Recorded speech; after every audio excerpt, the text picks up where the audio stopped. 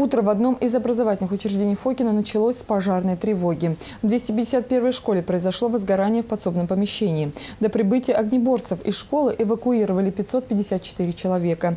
Их разместили в гимназии номер 259.